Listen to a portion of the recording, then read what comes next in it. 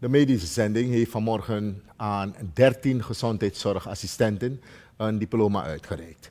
Het is de tweede groep geslaagden voor dit jaar die een diploma krijgt. Volgens Caroline de Baas, hoofd van de Inspectie Verplegende en Verzorgende Beroepen IVV, is het beroep van gezondheidszorgassistenten unieke. De inspectie is daarom trots op de geslaagden. Volgens de baas kunnen verpleegkundigen niet doen wat deze groep geslaagden kan. Volgens Edward van Eer, directeur van de medische zending, wordt deze functie in de gezondheidszorg steeds belangrijker. Het is een uniek en veelzijdig beroep, omdat u ook de juiste beroepshouding een doorslaggevende voorwaarde is om dit beroep professioneel uit te oefenen. U zult als gediplomeerde gezondheidszorgassistent te werk gesteld worden op een van de posten. En van u wordt verwacht dat u de aangeleerde competenties gaat toepassen binnen die praktijk. Verder wordt van u verwacht dat u in staat bent de gezondheid van de bewoners van die gemeenschap, van de dorpen waar jullie te werk gesteld zullen zijn, dat jullie die gaan helpen bevorderen en ook beschermen.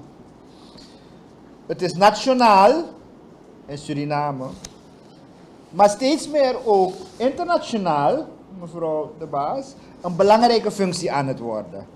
Omdat de functie, het beroep GZA, steeds meer en meer een oplossing schijnt te zijn voor de grote problemen in de gezondheidszorg. Eigenlijk is het het meest praktische voorbeeld van geïntegreerde gezondheidszorg. En geïntegreerde gezond primary healthcare betekent gezondheidszorg met de doelgroep, voor de doelgroep en zelfs ook uit de doelgroep. U zag dus uh, Edward van Heer, directeur van de medische zending. Cynthia Rozenblad, voorzitter van het stichtingsbestuur medische zending Primary Healthcare Suriname, gaat ervan uit dat deze groep, deze groep geslaagden in staat zal zijn te doen wat van ze verwacht en gevraagd wordt. Volgens Antoine Elias, minister van Volksgezondheid, moet onderwijs binnen de sector altijd doorgaan. Het moet prioriteit hebben binnen binnen uh, elke medische organisatie, zei de bewindsman. We zullen niet zeggen dat uw diploma uw eerste man of eerste vrouw is. Want ik zie gelukkig nog twee mannen ook erbij zitten. Daar ben ik erg blij om. Want het gaat er ook om dat we hoe langer hoe meer toch wel moeten proberen alles eraan te doen in de zorg.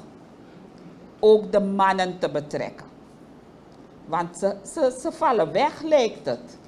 Steeds meer vallen ze weg. We moeten ons best doen om ze er ook bij te halen.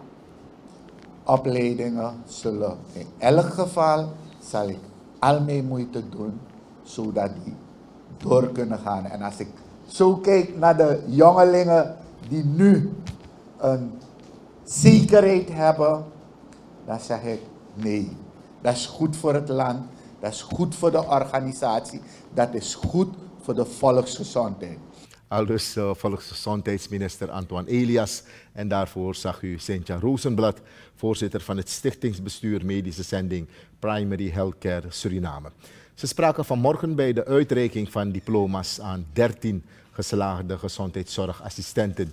De uitreiking vond plaats in de trainingszaal van de medische zending en wel aan de Zonnebloemstraat.